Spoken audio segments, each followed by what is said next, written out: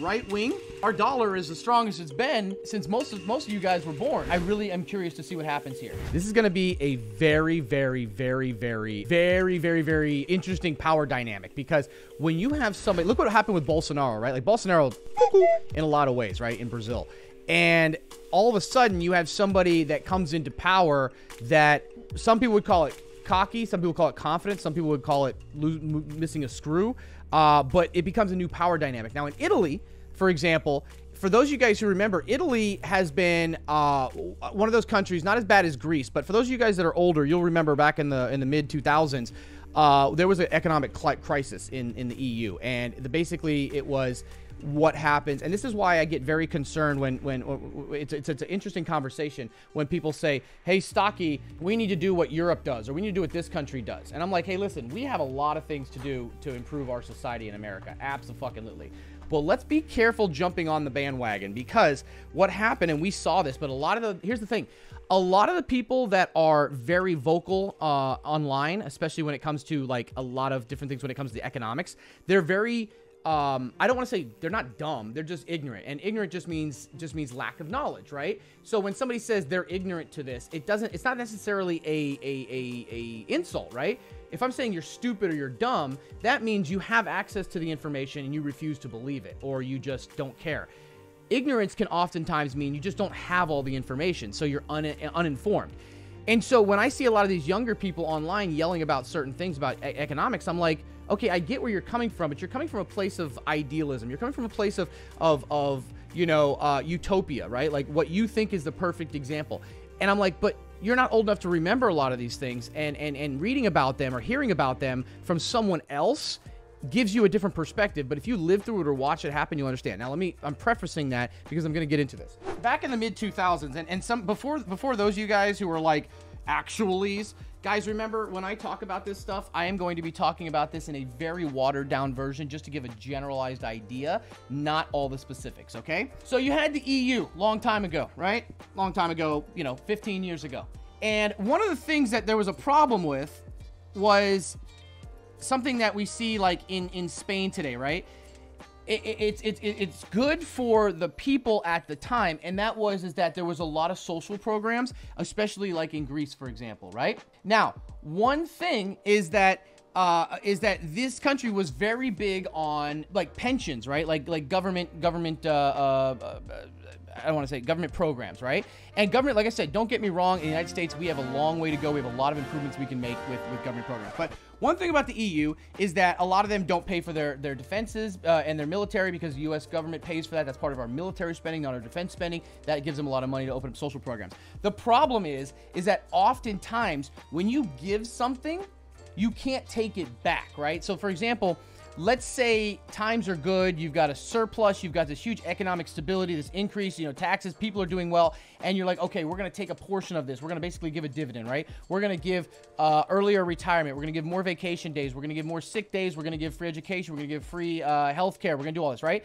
And it's great during good times. Problem is, is that one aging populations and two economic changes can can stop that right? So for example in greece and remember i'm just giving a very very very very watered down version. There's a lot of other things that went into this. But in greece for example they continued to do this right? They continued to, to pile on and they gave retirements they gave state sponsored pensions they gave uh, uh, huge credits to housing and medical and school and the whole nine yards.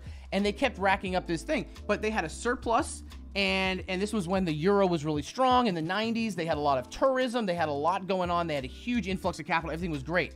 But then we started seeing people younger people working more people leaving. We started seeing the population get older. We started seeing this. Then all of a sudden when you had an economic downturn you still had this large debt this huge debt right? The government's like oh shit. What do we do? Well if france which then again, Fran- the French will will will will start a revolution over a croissant that's not perfect. Okay, but here's the thing: once you give out these things, you can't take them back because then you have social unrest, right? You have people that lose their fucking mind. So you have to be careful sometimes from an economic standpoint of how much you give with the idea that you can't take back, right? So you say, hey guys, we're having a great year, we're having a great import export, we're having a great economy, we want to spread it with the wealth. Then all of a sudden, the world changes, the economies change, things happen, And you can't be like, hey guys, remember how we hooked you up with all this? Yeah, we're gonna have to stop that. So they they decided they weren't gonna do that, and they were just gonna continue to to say, okay, times will change, we'll continue to to borrow. And so they started borrowing from Germany and France. This is before the EU. And next thing you know, they went into an absolute fucking economic bomb. It was not good. I mean, we're talking about the entire European Union had to come together to bail out Greece. Okay? The pre-European Union. All right. Well, then everyone started noticing that there was a there was a, a, a domino effect that was going to take place. Italy was next. Spain, several other companies, Portugal, several other countries. It, it, it was it was it was it was about to be a domino effect. So this is one of many reasons that led to the to the formation of the euro or the, the EU. Right? It wasn't just about us all coming together in my personal opinion, it was just Germany and France being like, hey, bitches, we're bailing you out. You owe us. We're going to get together, have one currency that we're going to control. But that's just another conversation for another time. So then the EU came together and they're like, all right, if we all have the same currency, then we can, we can, you know, try to have some stability. What I was saying is, is now we've got an interesting dynamic, right? So now we have Italy, okay? We have Italy who has a new prime minister. Okay, and I, I I had so much more I wanted to go over. I wanted to start talking about how the uh, the IMF uh, helped manipulate this and how uh, a lot of this was going on. This, this is all before the EU, right? So we end up seeing this crisis. So now we have the EU, and the EU is still run basically by Germany. I mean, let's be honest. Germany is like 20%, 25% of all decision makings. You got like 15% here, and the rest of it's like 2% here, there, here. It's like it's, it's basically run by Germany, a little bit of France, and and England. Once they left, they lost a lot of that power. But you've got you know Spain, which has massive unemployment, which is good because people love. I mean, uh, people love being it because they have a lot of government programs. Now, I'm not against government programs and social programs, right? Like I said, the U.S. has a long way to go, but there is an extent of if we give things if we take them back, then you can't, you know, you have to find another way to go more in debt, and, and then it exacerbates these problems. And the only way to get out of it is to cut things, right? Like right now, we're cutting rates, right? We're making money more expensive. Doesn't affect people on the borrowing side, but once you get into houses and credit cards, it starts to bother people. And then when people can't afford to live or or, or to get into uh, get out of debt, next thing you know, there's there's social unrest. So in Italy, you have a new prime minister. The headlines all came out and said she's fascist, she's Mussolini, she's Hitler light, etc., etc. And for every single one of you guys that are coming in here saying, "Oh, Stocky, yeah, did you hear about the new fascist government stuff like that?" I can't say you're wrong because I haven't done enough research on her. But I would say that if you're automatically saying that the day after CNN is saying that headline, I would say you might be just being a parrot right now. I need to do more research, but from what I have seen, yes, she is significantly more right wing right leaning, whatever you want to call it, conservative, etc. Right? She's definitely more than they're used to. Now, she might turn out to be a fucking fascist. She might come out in a goddamn brown uniform tomorrow. I don't know. But I wouldn't necessarily jump on and say, oh, because someone has a difference in things that they're automatically a fascist, right?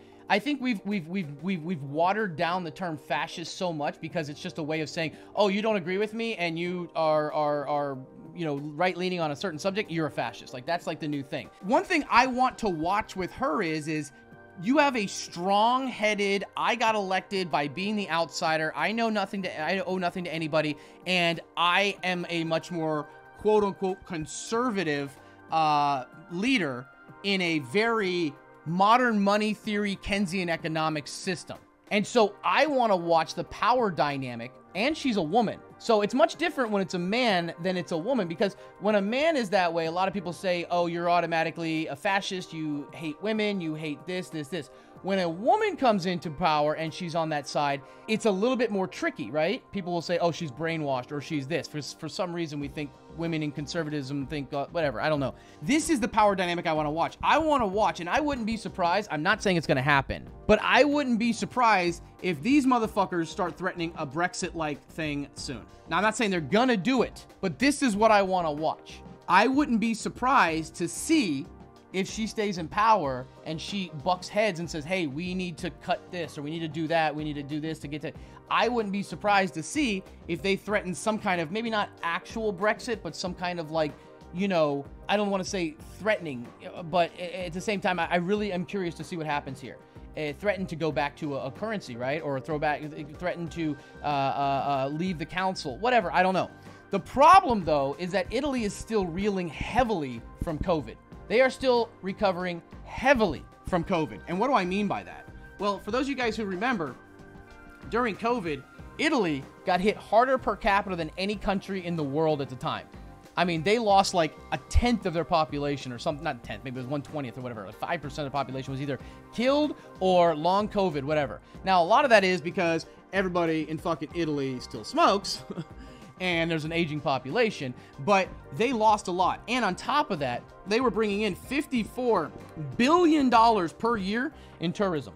$54 billion a year in tourism international tourism. That's a lot of money. And they haven't recovered from that. Sure, with the dollar being at the all-time high against the uh, against the pound and a 25-year high or 30-year high against the euro, you'd be like, well, Stocky, shouldn't that be good for them? Americans with more money are going to fly in and spend American dollars in Italy, and that's going to spend a lot. That's going to that's going to increase a lot of GDP.